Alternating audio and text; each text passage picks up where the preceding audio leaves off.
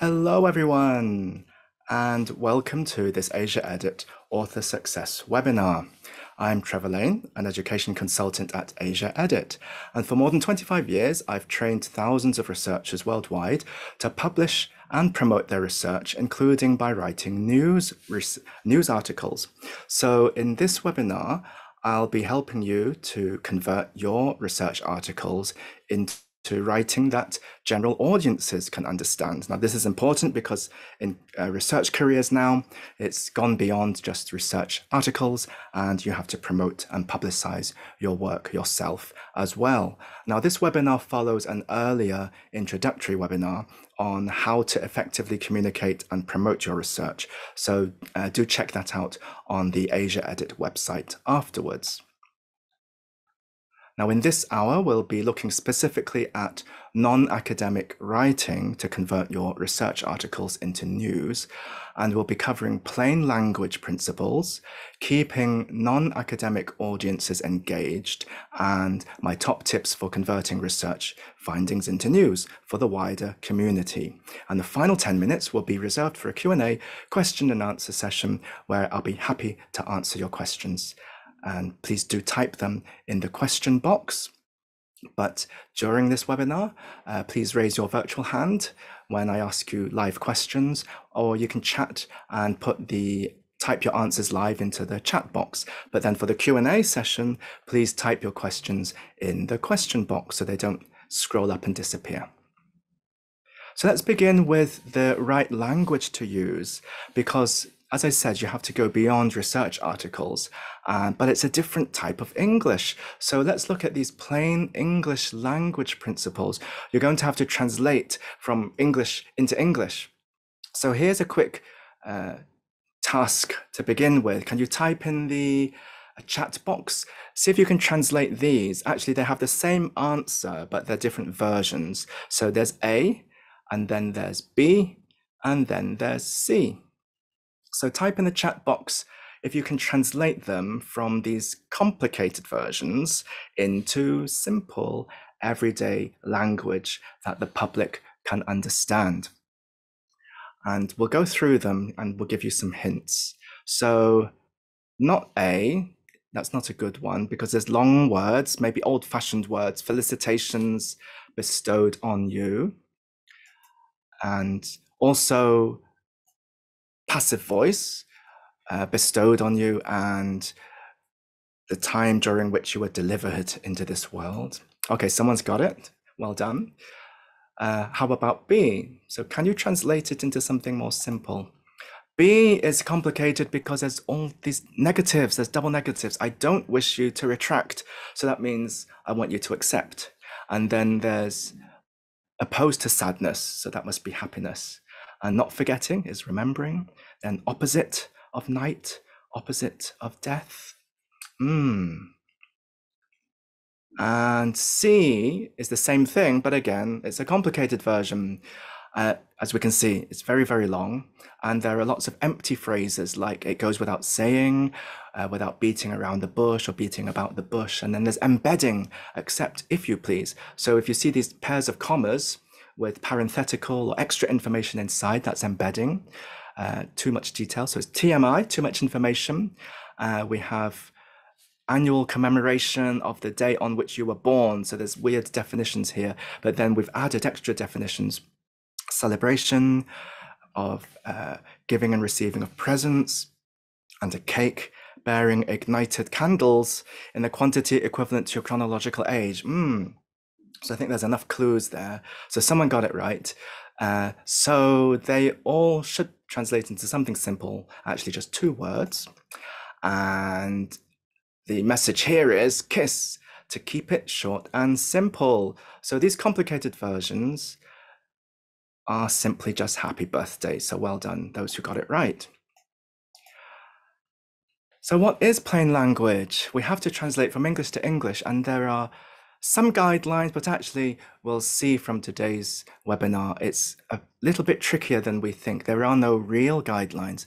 So in the US, actually in 2010, Barack Obama made it a law for federal uh, departments in the US, whenever they give public notices, they have to use plain language or plain writing or plain English. And it's so your audience can understand the first time they read or hear it. In the UK in the 1970s, they tried to start a campaign called the Plain English Campaign. And they define it as having the reader in mind with the right tone of voice that's clear and concise. And then there's international movements trying to push for plain language, but specifically for kind of uh, government notices whenever the public is involved. It's uh, the wording structure and design that are clear so the intended audience can easily find what they need, understand what they find, and use that information. Now, in the dictionary, the Collins Dictionary has a simpler definition that says it's language that's clear and easy to understand with no ambiguity or unnecessarily difficult words. Now, in the US, their main dictionary is the Merriam Webster. I think someone was uh, has a sense of humor when they defined it. They say plain language is unconcealed by any cryptographic process. So not hidden, so clear, clear language. Now notice it doesn't say for the public, for the for uh, consumers. So actually plain language just means clear and simple. And there are four C's. Can you type in the chat box what what are the four C's, do you think, we can summarize what we just read about how so far plain English is defined? I'll give you some hints here. So it matches the context and purpose and audience. We assume non-specialist audience, but doesn't have to be. It's simple but not and not misleading or ambiguous, but it still has to be factually and grammatically accurate. It's relatable, respectful, and empathic. So you're, you have the reader in mind, the audience in mind, you know their knowledge level, so how technical you should uh, make your language, and what their level of English is.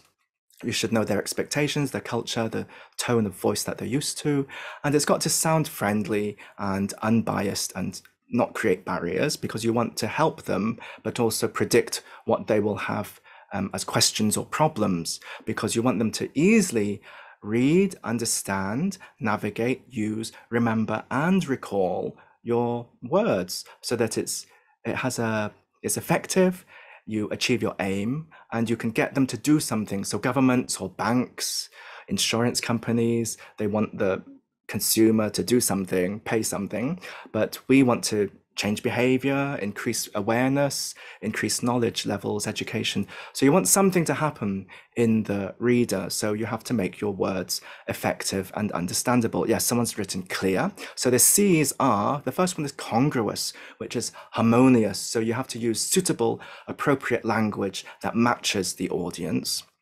Clear, concise, and correct. So don't oversimplify so much that it becomes inaccurate and scientifically wrong. So next we have a look at specialist English because we said plain English doesn't have to be just the public. So academics could use the same principles to write clearer papers, but not to make it so simple that it sounds weird. So, for example, there is specialist language that either in specialist English or for public English, it doesn't make sense to try to use synonyms and change. For example, if you're writing something all about photosynthesis, it would be odd, especially in academic writing, to change it to say, oh, this is how plants and other organisms use the sunlight to make food or use light energy to combine with CO2 and water to make sugar. If you say that every single time, it's a bit weird. So you do have to use some specialist terms. So plain language doesn't mean removing all specialist terms. Specialist jargon maybe is a bit more informal and is only known within groups. And then specialist slang, of course, you shouldn't really use even in academic writing. So the more informal and in-group the language is, then the more exclusive it is and you're shutting people out. So of course, then if you want to include more people, then you remove the slang, remove the jargon, but you, you'll still have to keep some of those specialist terms. So for example, actually in academic language and journal papers, people um, laugh and say, oh, it's called academese. It's a language of its own. You'll, we'll see things like this. But actually, it has a very specific meaning for the group of people who will read and understand it. If you try to rewrite it and you'll, you'll make, change the meaning and then make it sound silly. Or it actually becomes three times the amount of text because you're having to explain every single term. There's officialese or bureaucratese for government departments writing notices for the public or demanding taxes. There's legalese in contracts and laws. We often see words like this, but there's a reason for it because the lawyers don't want to have the words exclude or include something they don't want to. So it's got to be quite specific. And then for business uh, and commerce, we hear things like this. And even for guidelines for medical operations, we'll see things like this. But it is normal for that group.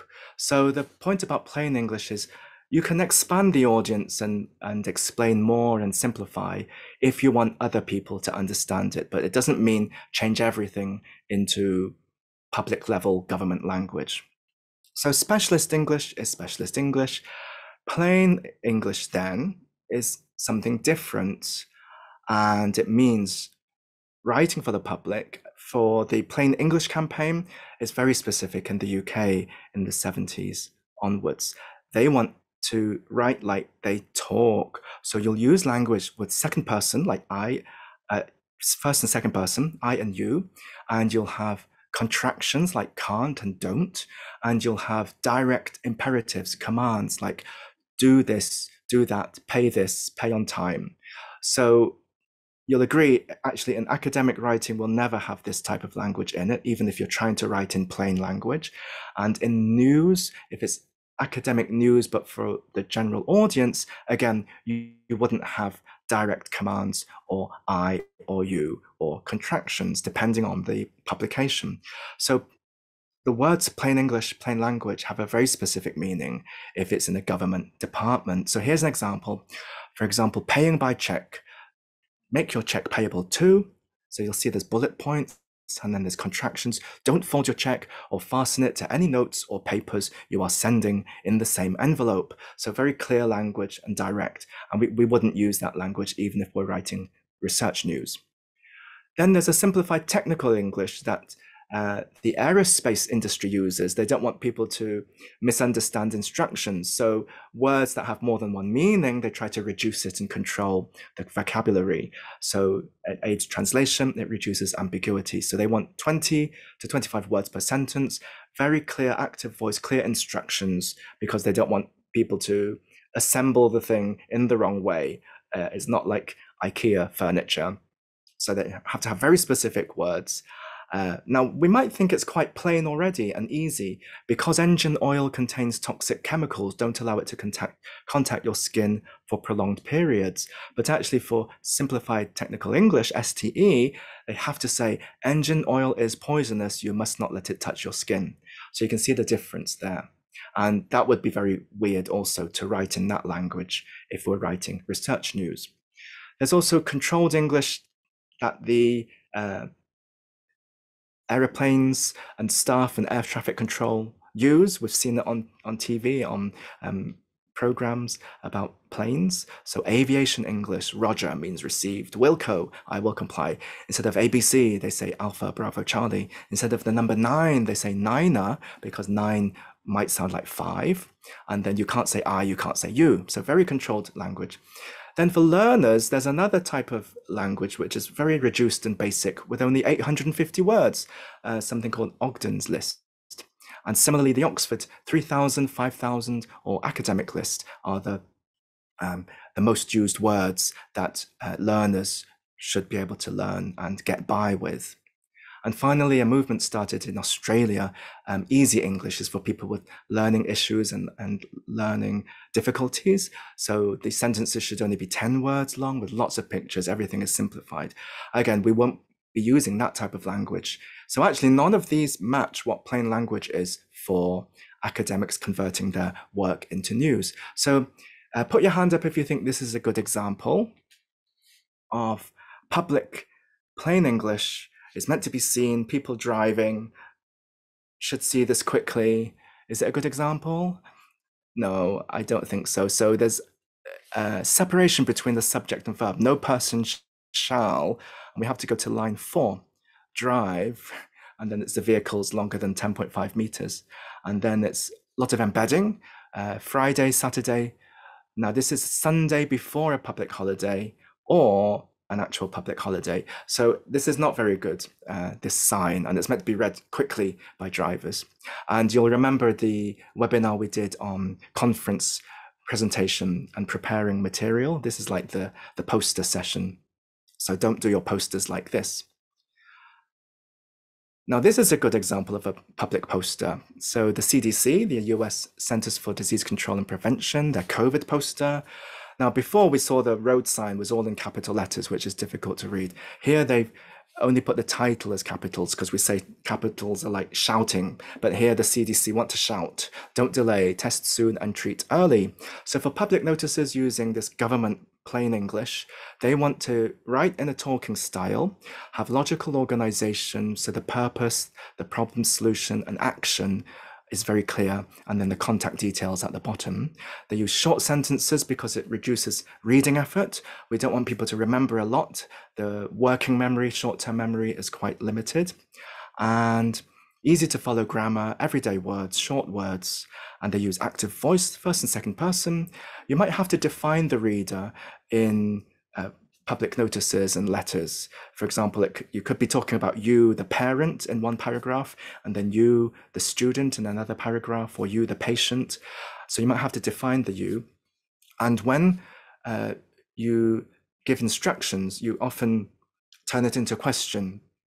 And then you don't use you, even if it's the reader, you use I. So, how do I pay? How do I do this? How do I return the library books? So you turn it into a question with the I, not the you. You don't say, how do you pay? Because then it sounds like you're demanding payment. So this is something quite peculiar with plain English um, for things like for action items and letters and things like that. So you and I refer to the reader, but we refers to the sender. Then, as I said, you're allowed contractions, but not complicated contractions like wouldn't have uh, standing for would not have. And I've noticed they don't use your for you are, maybe because it uh, can get confused with your possessive you. And direct instructions must do this, should do this. So must is for obligation and should is for recommendation. And then you can use pictures and easy to read visuals and bullet points and graphics and icons and left aligned spacing you'll notice in that poster. And then for online material too, there are guidelines to have lots of white space, shorter paragraphs. And for clear links, don't just say click here, you have to say what it is. So read the full report, for example, and then you can click. And then for pictures and photos, you have to have alt text for accessibility. So you describe what the picture is if you don't already have a caption and you have a very descriptive uh, alt text with fewer than 125 characters. So I've made this list from what I found on uh, for guidelines on plain writing, for what I think are plain writing principles for academic conversion of your research into news, because we don't really want to, unless you are doing posters for the public, you don't want to write um, and prepare work that we just saw in that public poster.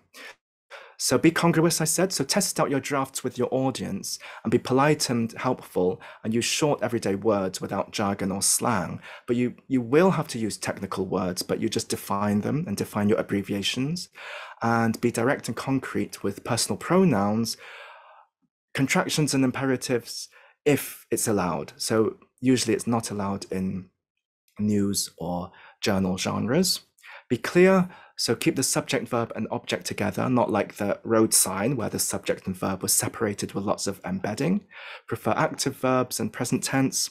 Uh, use verbs, not nouns. We'll see that in a minute. Clarify it. So here it says the X was in the Y and then it, but it could be X or Y. So you, you'll have to define and say the X if you mean the X or the Y if you mean the Y and clarify modifiers. I only drink water means you only drink it, you don't eat it. So you actually mean I drink only water. Be concise, so read it out to test if you have very long sentences or very short, choppy sentences. So the guidelines usually are fewer than 20 words per sentence with just one main idea, and fewer than seven lines per paragraph with one main topic per paragraph. And delete redundant terms be correct. So use proper grammar, spelling, punctuation, and don't oversimplify or mislead with your facts. Use the same accuracy, precision, certainty, frequency, quantities, and scope as your research article as the source. So provide complete and unbiased information, and then increase readability with white space write in chunks, don't have very long sentences, and then keep terms consistent. So if you say teenagers, don't later on say teens or youths or adolescents, because they'll have slightly different definitions and then you've changed what the topic is. So I know some people might not be used to this, they've been told to use synonyms, but actually it's better to keep the same term throughout. Now there are readability indexes like the Flesch Reading, Flesch Kincaid, and also FOG, but actually it's a little bit uh, misleading because just having short sentences and short words and counting the words is not going to be enough. As I said, we might have to have technical words, and there's no point just having very short words and sentences and having uh, weird constructions. You'll end up having the cat sat on the mat and the fish swim in the sea types of sentences all the way through, which doesn't suit the audience. And then use design features and bullet points if you're allowed to. So some journals or some news um, places don't let you use bullet points. So let's move on to how to keep the reader engaged and not confusing them. So if you make them reread anything, they'll give up. So how do you keep the reader interested and not confused or annoyed? So put your hand up if you think these can be improved. So here's the first sentence. Before consumption of drink by mouth, people raise glass, clink glass, and cheers, is said. Yes, it can be improved because um, this is very long. We have consumption of drink by mouth. That just means drinking. So don't overcomplicate it. And then we have a list of raising your glass and clinking your glass, and but then it's changed to passive um, cheers is said. So keep lists parallel and keep bullet point lists parallel. So here's a better version. Before drinking, so consumption of drink by mouth, before drinking, people raise glasses, clink them together, and say cheers. So we have verb, verb, verb, everything is parallel. But hang on, this is not right either because before drinking people, it sounds like you're drinking people and then you what you have to do you have to say cheers when you're drinking people. This is like the uh, let's eat grandma sentence. So let's eat grandma or let's eat comma grandma. So here we need a comma after before drinking. Here's another example. Can we improve this my students were inspired by their parents, Superman and Wonder Woman. So this is another list. So this is to show the logic of lists is very important and can easily go wrong. So here actually, because there's one comma, it sounds like the parents are being defined and renamed as Superman and Wonder Woman. Um, so this is the appositive comma. You're renaming the people. So actually, it's a total of four people: the two parents, Superman and Wonder Woman. So we need the final comma. So this is the serial comma, S-E-R-I-A-L, not cornflake cereal, uh, or the Oxford comma. So we do need it sometimes. But however, in this example, we have commas after each term. Uh, the interviewee said she was lucky to meet her grandmother, comma, Princess Diana, comma, and Prince Charles. Uh, but in this case, because there's a pair of commas, it's still the appositive comma. It sounds like you're defining the grandmother and renaming her as Princess Diana. So sometimes serial Oxford commas don't work either. So the Princess Diana wasn't her grandmother. So here we remove the final comma and just say grandmother, Princess Diana, and Prince Charles. Or you'll have to recast it and say the grandmother as well as Princess Diana Princess Diana and Prince Charles, or in addition to Princess Diana and Prince Charles. And then um, the she said could refer to Princess Diana or the mother or the interviewee that's female. So again, you have to rename uh, pronouns and say the interviewee said. So to not confuse the reader and make them give up, we need to delete unneeded words, keep everything simple and concise. So in this case, redundancy, reanalyzing something already implies you're going to retrieve it and reanalyze again. So we don't need all these extra words. So just re reanalyzed X. Um, assessment is required, is already compulsory, so we don't need to say compulsory. Um, words that are already understood. So here, unique is already an absolute term. You can't have more or less unique, or extremely or very unique. So unique samples were blue and spherical. You don't have to say in color or in shape. And then plans are always future, history is always past. So just say the plan was to exit the stage by jumping off it. In talking, we add lots of empty phrases. So here, um, just say the movie was entertaining or my current workload is heavy. And similarly, there's lots of introductory phrases in speaking where we buy time to get some thinking time. So you don't say things or you don't write this when you're writing for the public. Um, what I'd like to throw into the pot is my two cents worth, maybe in social media, casual talking only. So just go ahead and say what you're going to say. And then repeated terms and abbreviations, make sure you know, for example, syndrome is the S of AIDS and number is the N in PIN. So don't double up on some of the terms by accident. Simplify when possible, so turn most passives into actives. So X has been discovered by them, turns into they discovered X. So it's more direct and fewer words. But sometimes you don't want to name the doer, you don't want to blame, and maybe you don't know who did it. So sometimes you have to use the passive. Any mistakes that were found were quickly corrected. Recast indirect or abstract phrases or noun strings where you have a long row of words before the noun at the end. People will forget again from the short term memory. They'll forget what, what you were saying before that noun. So remove wordiness. So here, instead of do not use X unless in the event that, that could be rewritten as if, but the rest is still too long. So instead of all that about the same temperature which the air of the room is at, just say use X at room temperature, not all the conditions to not use X. Release hidden verbs, so don't trap your verbs in nouns. So instead of performed in com a comparison, just say they compared. So nouns like uh, ending in ment or shun or zhen, watch out for those, because you'll end up having some weak empty verbs like make, do, have, take, or perform, conduct. You'll end up having extra verbs and making everything longer. Rewrite slang, jargon, and cliches. So instead of how do you prep for the exam to pass with flying colors, again, turn it into the I if it's a question for instructions for the public. How do I prepare for the examination? You, you could use exam depending on the, the genre. And then shorten words and rewrite double negatives and try to avoid it or there. But there are times when you will have to use it or there. So instead of it was apparent there were no methodologies utilized for analysis purposes that had not been previously published, just say we used published analytical methods. So methodologies can usually become methods, utilized can usually become used.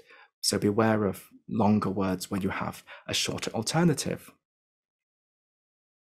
Now, there are some things to remember when you're writing your messages to help the reader stay focused and understand your message because they expect the topic to be to come before the comment. So sentences normally have two halves, the beginning and end. So the introduction is the topic, the ending is the comment. So the topic is like the thing you're going to talk about kind of when you're talking, you say, Oh, do you know the program last night? So you name what the topic is, and then you're going to talk about the program. So the topic, for example, here is the sentence topic. So in this example, the sentence topic goes first in the sentence before the comment. So the sentence topic is the topic. If you put the topic at the end, people will forget what you're saying. So going first in a sentence before the comment is the topic. So people will have to double take and reread the sentence again. So topic be before the comment. Also, old information goes before new information. So this is true. The topic sentence normally starts a paragraph. So give a summary or conclusion sentence actually at the beginning. That's the topic sentence. Now, that's always going to be something new, but then the next sentence use old before new. So refer back to that topic sentence. Here we've put that sentence is then followed by the supporting sentences. So that's an example of old referring to the first sentence and then having a comment about it. If we said the support then follows it, we don't know what it refers to. And also we have new information about support, which is too sudden. We want to talk about old information first, which was that first sentence about the topic sentence. Or you then provide the support for it. Again, you'll confuse the reader. So put old before new. Also put short before long. So the subject is a very short noun here, should not be too far away from its verb. We saw that before. So the subject should not be too far away from its verb. If we put lots of embedding, the subject, to avoid causing reader confusion and to help with reading comprehension, should not be too far away from its verb. Then we've separated the subject and verb. The, the subject is too far away from should, and you've confused the reader. So the things to remember are topic before comment, old before new, and short before long. You can also add transitional signal phrases at the beginning. So to help the audience, add introductory phrases to sentences, then readers will be able to follow your message more easily. And then for the whole text, put the main news first, just like the topic sentence, but it's a special one. In news writing, the first topic sentence of the whole text should be the main news, conclusion, or key message. Don't make people wait for the conclusion at the end. Don't surprise them. Even if you've got bad news to tell them, it's best to tell it first. So here's an example, though, of plain language writing, which isn't news and is not a government poster. It's actually a plain language abstract or plain language summary, PLS. Now, you might have seen this in some journals that are starting to do it, but if you have a look, it's still kind of based on an abstract. So they'll have a technical abstract and then the plain language abstract below it. It could be on the same page printed or online in the PDF. It could be uh, taken out and put on the table of contents so people read the plain language version and then the theory is they click and they're more likely to click onto the article. But uh, so you can use wh questions. They've reorganized the abstract into uh, what do we know? Why was this study needed? What was done? What was found? What does this mean? Or in this example there's three wh questions.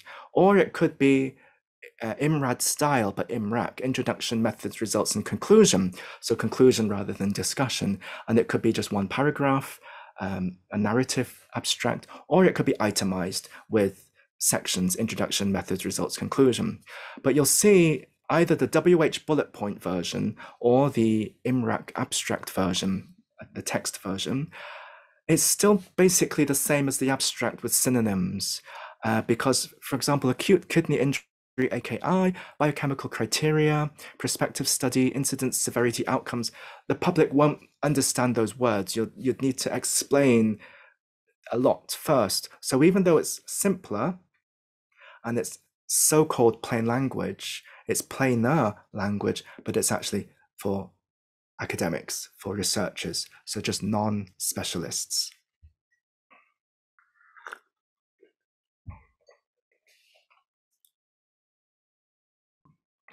Now, this version is written for the public and it's called a lay summary. So whenever we, we see general, lay, summary, then it's for the public. And so some journals are doing this. So this is unclear because some journals just say plain language, but they mean for other researchers or for graduates, or they might specifically say for the public.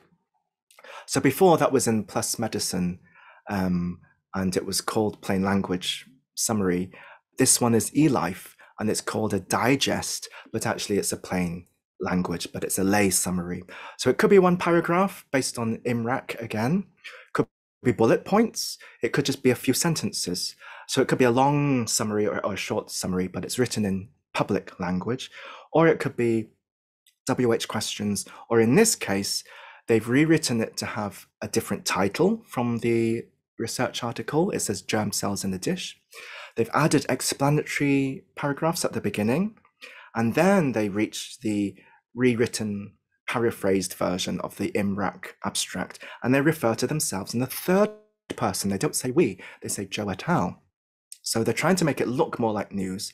And then there will be a uh, ending implications. They'll have an extra paragraph to try to make it more interesting and relevant to the public. And they might even add an, another simplified illustration so it looks like an infographic. So this is a lay version, but very few journals are doing this. So be careful, read the instructions for authors, look at some past examples to see what they mean and learn how to do it. But then we might think this is still a bit weird. It's not really for the public because um, it tries to add some information at the beginning, but then it just sounds like a textbook. Then they throw in the paraphrased abstract in the middle, which might be too technical still, and then they add some implications at the end. So here, for example, they're trying to explain what primordial germ cells are, but you might have to explain eggs and sperm from the beginning to the public. Or, for example, the uh, so-called simplified title, germ cells in a dish, the public might not know that germ cells mean the precursors of egg and sperm. They might be thinking of, because of COVID, microbes, microorganisms, germs, bacteria, viruses. So we've used, we've actually confused them by, using a simplified word, which is not the right one. So be careful of writing for the public. Because you have to know how to do it. Some journals are asking for it, but then you you will have to disseminate your research to the public. So this is a quick explanation, history lesson um, for researchers. Publish or perish, you've heard of. So you have to publish something, but you can actually publish and perish if you've written something wrong by accident, misinformation, or you've actually spread fake news on purpose, disinformation or you've done your research unethically, or you've published something in, a, in an unethical way, or you've chosen a predatory journal by accident. So check the checklist on Think, Check, Submit. If you've published in a journal that sounds like a famous one, but they tricked you and they used a website which is the wrong website and you paid them and you published there, then you've lost your paper, unfortunately. So you've published and you'll perish. So be careful, check the journal's uh, venue that you're submitting to. Then maybe 20 years ago, it's publish and flourish. So you're trying to publish, but make people read your work and cite your work so that you get more um, career advancement from it. So choose open access journals, get more people to read it and cite it, promote your work at conferences, uh, debate your work in blogs and social media, clarify, um, publish a correction if you found a mistake. So be honest and correct your work so it's so it's still um, trustworthy and credible. So this this is all to do with responsibility, but advancing your career. But it's still a bit selfish. So it's, it's so it's still a bit um, old-fashioned, not quite right. So nowadays, United Nations, UNESCO, you might have heard of the SDGs, Sustainable Development Goals. It's more responsible as a researcher to publish and nourish. So you're not thinking about yourself and flourishing in your career, you're nourishing the society, you're nourishing your field, your discipline, and you're trying to make your publication do extra work and actually get mobilized and used in the real world. So this is knowledge exchange, open research, open data, share your data and have societal impact, not just journal impact or citations. So try to aim for publish and nourish so that you're helping society, this, which means you have to translate your work for stakeholders. So translate from scientific English into non-scientific English, summarize, adapt, identify your stakeholders, engage with them, uh, take part in seminars and events for the public. You might have heard of the three minute thesis, 3MT, or uh, Pint of Science. We had an AsiaEdit podcast with the Pint of Science that you can check out. So, this is converting your work into a public everyday language description for the public to understand. You could do video abstracts, a lightning talk, again, just three minutes to talk about your work with a non technical script or the Pecha automatically timed 20 slides, 20 seconds, but again with a general public language script, or infographics, podcasts, things like that for the public. And in this case, you start to with a hook, with something interesting to get them interested. So you could start with an interesting fact or statistic or a paradox or contradiction, a question, or say, imagine something so that you're getting them to think, um, or a quotation. And then you build on that and layer your story for the public. So actually after publication, so notice it says post-publication. So we want you to peer have your work peer reviewed and accepted in a journal before you promote it. Then you convert it into non-technical English. As we've seen, it could be a plain language summary, either for other academics or for the public. And here um, it could be for patients, for your funder, and clinical trials in the US and Europe. You have to submit your trial online before you do your uh, trial, but then after it, you have to submit a lay language version of the summary of the results as well. Um, so it could be an abstract version, it could be a summary version. It's got to be unbiased and, and also ethical, not commercial, no conflicts of interest. Uh, give the trial number if you've registered your trial, and always link it to your article. Similarly, for social media posts, link it to your article. Uh, this could be prepared by the journal or your university, but it might not be allowed for industry papers because it's, it counts as direct to patient marketing in most countries. Uh, but be ready for answering comments on social media. Similarly, for news releases and blogs, for example, um, there could be a press release done by your university or the journal. Otherwise, you have to write it yourself. It could be for a news platform or a blog or website. And again, be prepared that uh, journalists might read it and interview you. And you could add a, a simple illustration. Don't just repeat one of the article figures because there might be copyright involved and the public won't understand it. So you need a simplified illustration there.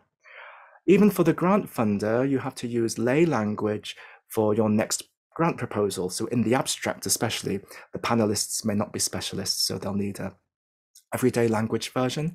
And then even when you finished the project and published it, most funders want a general language summary for the public as well.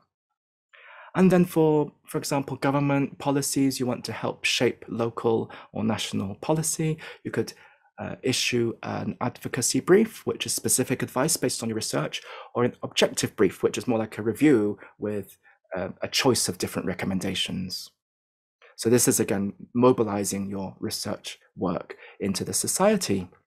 So finally, we'll talk about turning your findings into actually news articles. We saw news style, plain language summaries or plain language abstracts, which may or may not work for the public. But then this version, actually, actual press releases are aimed for the public.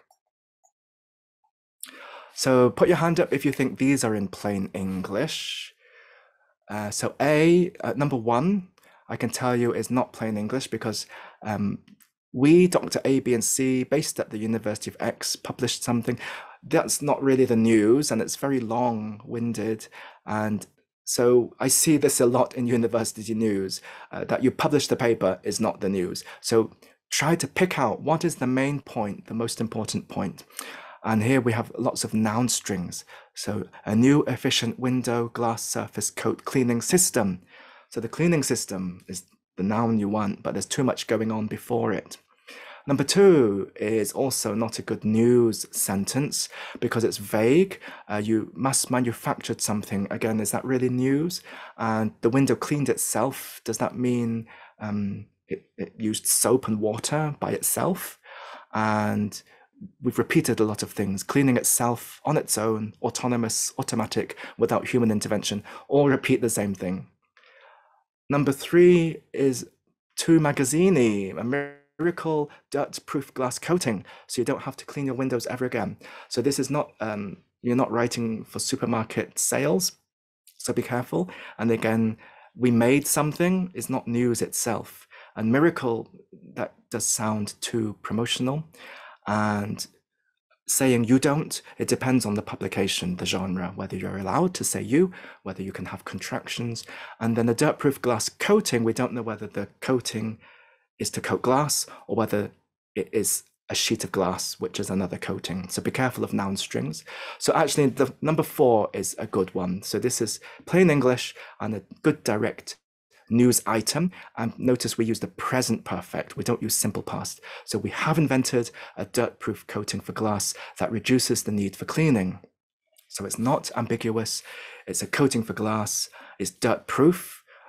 And it's not it doesn't really clean itself with soap and water. And we have invented something and the invention still exists and is useful and is relevant to today. So there's a relevance to the present. So we use the present perfect. And um, it shows it, it implies we've just done it even though you did it maybe two years ago. It sounds like you you just did it. So we have invented.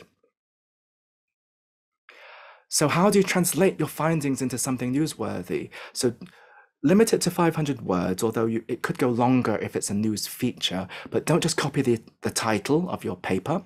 Find the key point the most important point and a story angle. So don't just think oh we've created a theory that does something.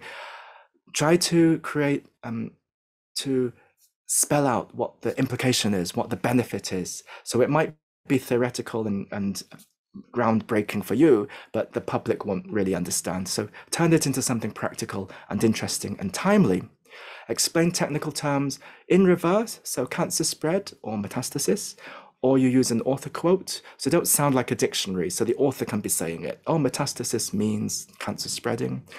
Or if your paper is about a specific term, you can use the technical term and say photosynthesis throughout the paper, but then define it um, in brackets or with a pair of commas what photosynthesis is the first time. Explain the significance objectively. So again, you'll be writing about your own paper, but in the third person, he, she, they. So it sounds objective. So give quotations from your group or from you, but you're saying it as if you're saying it indirectly and use evidence. So don't, don't treat it like a, an abstract. And finally, link it to your peer reviewed source. So for general audiences, use short and direct language beware of cultural differences and using jokes and idioms. So piece of cake means easy, or goat means greatest of all time, but not everybody knows that. Use clear analogies, so prefer analogies to metaphors. So a, a, dung beetle rolling its dung is equivalent to a human carrying 16 elephants because it's a thousand times body weight. Uh, Diatoms are small single cell algae, which are a quarter of the width of a human hair. So use things that people can relate to, but not things like the virus is very hungry or the virus is happy or sad. So don't make it too simple and, and childlike. Avoid phrasal verbs because it's diff difficult to get the real meaning of, even if though it's shorter words, um, the adverbs and, and prepositions change the meaning of the verb and then use unbiased language, so staff instead of workmen or manpower, patients with diabetes instead of diabetics. And you can say said or say throughout, but try to add your the degree of certainty and your and the stance. For example, in reporting verbs, the neutral is state, but it could be negative, questioned, challenged, objected, or denied, or it could be positive, speculated, hypothesized, confirmed.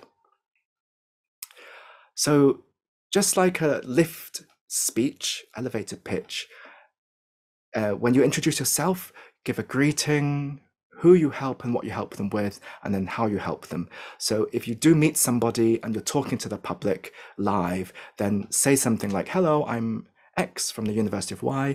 Our team helps parents teach their children lifelong soft skills by providing them online apps. And then say what your achievement is, your news item, say it early at the beginning and say it clearly, early and clearly. So don't just repeat the title of your paper and turn it into something that's an achievement or a solution or a benefit and use the present tense. And beware of unintended meanings such as the brain research unit gets new head. So say director or manager. So not mobile app to support parent-assisted science news literacy education in domestic settings, but a new mobile app helps parents teach kids to spot fake science news. Now, when you write the news, there's two types. One is the hard breaking news. So it's urgent, it's important. So this is the type you want to write. And the importance is the opposite to an abstract of a journal article, which goes from least to most important as you work towards the conclusion to show the evidence and you try to argue for the conclusion. So in hard news, you put the most important first. So actually it's completely opposite. It's an inverted pyramid. The conclusion goes first, followed by some details and then any background. Not really the methods, not really the whole history of it. So if you cut from the bottom, the olden days in newspapers, you could cut and remove from the bottom and you still get the news. So cut away, cut away, you still get that top one. The top we say that is the lead, the middle part is the body, and the bottom part is the tail. So you can remove the tail, you can remove the body, and you'll still have the lead, the most important part of the news. So begin the headline in present tense, give the immediate release or give the date if it's embargoed. Some journals won't let you uh, publicize your work until the actual paper is published. So the most important goes first in the lead sentence or paragraph. So answer the WH questions, what, who, where, when, what's the most important, use present tense or present perfect, have discovered. Then the middle part, the body, you elaborate and support with some data, simplified data, or a quote from one of your uh, research group members. And that adds some a human element. And remember, you use your quotes to give extra definitions or the implications. It shouldn't come from you as the author because it sounds subjective. Finally, the ending should have a bit of uh, background, but not really the methods, unless the methods is a key part of the, the story. And then try to end with a quotation and implications. So our discovery adds to global efforts and illustrates our university's commitment. So it's okay to have um, promotional uh, sentences about your uh, the reputation of your university. It's uh, expected. The journalist might delete it, but you can say it because it's part of your promotional efforts end the press release with three hashes or three X's or end or ends or three zero. These are just the weird conventions to end the press release. And then you can give a glossary of terms to define things or a paragraph about your institution and most importantly, contact details and link it to your research paper. Now, you can submit your work to uh, press release services like EurekAlert, Alpha Galileo, and Cision PR Newswire. You'll have to pay for those services, but they'll help you promote your press release. Or you can target specific journalists. There's also soft news where you add a bit more flavor. So there's salt and pepper. Because it's not urgent news, maybe it's more human interest or emotional. So you have to pad it out a bit. So soft news is like the salt shaker. You begin with something like like a hook, like one of those sentences for the public. So when was the last time you did this? So notice that hard news doesn't use you or we or I unless it's inside the quotation. But soft news and features, you can use first and second pronouns. Uh, then the then main news is called the delayed lead, usually with a now. So you state the problem, you introduce it with a teaser, and then you say, now the researchers have done something. So this is where the lead would have been in hard news. And then you end with a kicker to try to make it memorable. So action item, go and get your teeth checked, go and recycle more. Or a feature is like this, much longer, so maybe longer than 500 words, and you can help the reader understand it with subheadings. And it will begin with some bait on the hook.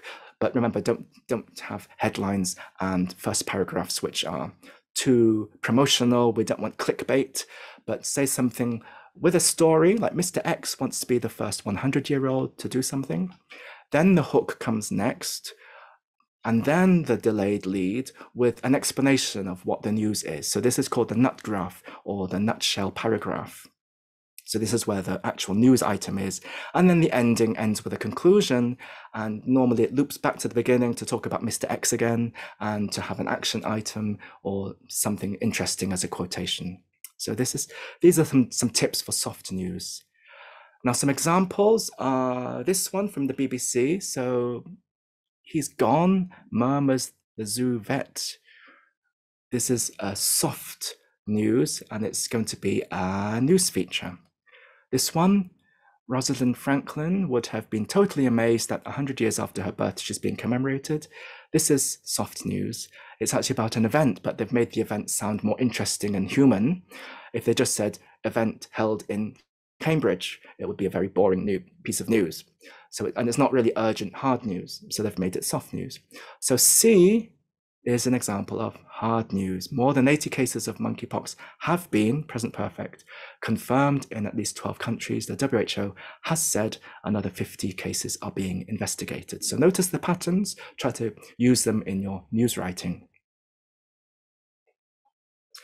But don't lead people up garden paths, either in your news story where they don't know the direction of what you're saying. You're, you're layering installment by installment, but the, the public doesn't know where you're going, or even in sentences, be careful. So in your sentence, be careful of looking dull, we repainted the walls. It sounds like the we are looking dull.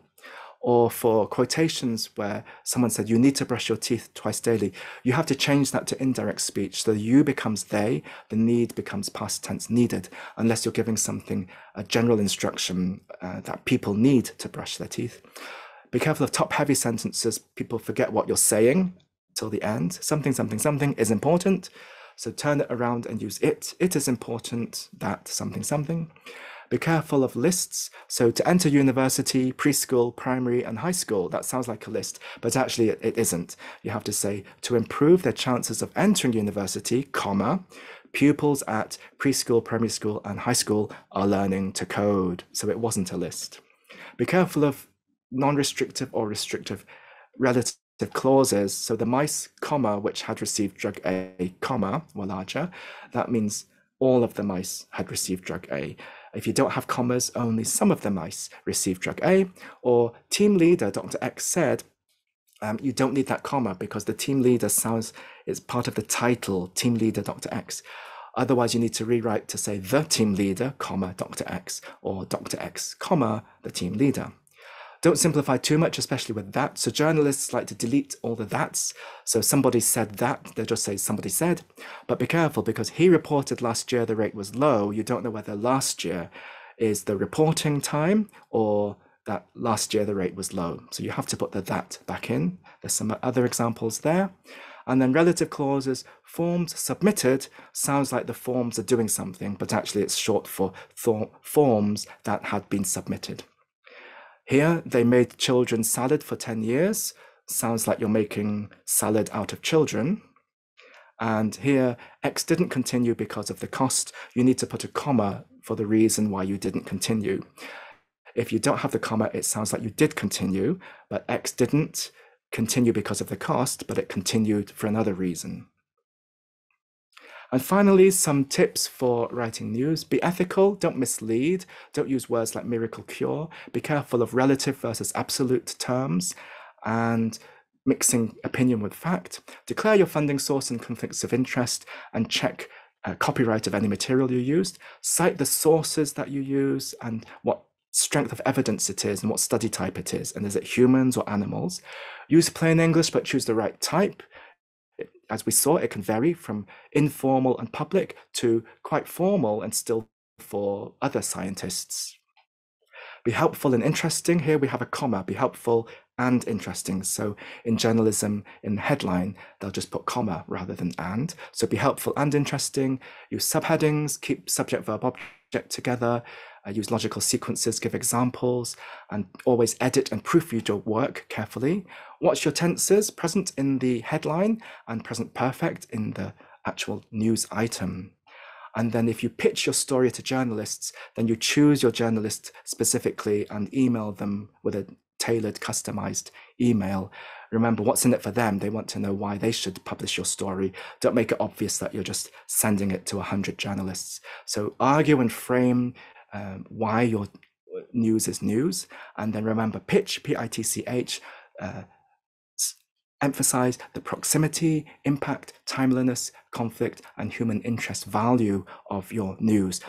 Don't just give the academic part of why your news is important.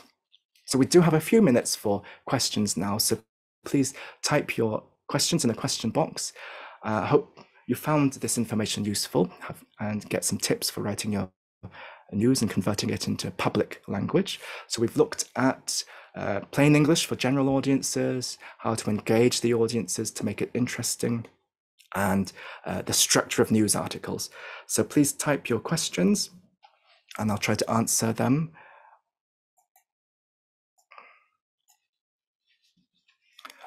So uh, is the headline always in present tense? No, it doesn't have to be. It can be past tense if you actually discovered something about the past. So if it's new insight about something that's happened, um, something caused something, the volcano, something um, something worsened something, it can still be past tense. Um, how much data to put into a news story. Uh, you can round up and round down, you can simplify the data. Now, if you're writing for a general audience and submitting your work to something like EurekAlert, so you know scientists will be reading, you can put more detail. So give the average, um, but you'll say something like, oh, it, it, it doubled, but then you give the actual number in brackets. Um, so and 95% confidence intervals, p values. You can put extra details in the data in the brackets. The people who care will read the data. The, if the journalists pick up your story, they'll rewrite it and they'll, they'll remove the, the details of the data and they'll use the rounded up version. Um, can you publicize your preprints? So preprints are not peer reviewed and it's where people put their drafts online, but actually the thing, the international norm in universities and for journals and uh, science communicators is you you should not promote your peer your preprints because they haven't been pre peer reviewed, and you shouldn't uh, promote them to the media. Now, there might have been exceptions because of COVID, but you really do have to explain to the journalist if they found your preprint, you have to explain it's not been peer reviewed, it's preliminary, it hasn't um, been confirmed, the conclusion might change. But otherwise, you shouldn't actively promote preprints or conference posters and abstracts. That's the norm these days. You don't want to um, the public to treat preliminary news as if it's peer-reviewed journal articles, especially if the work is rejected and deleted later on, so you or withdrawn. Um, so don't promote your preprints.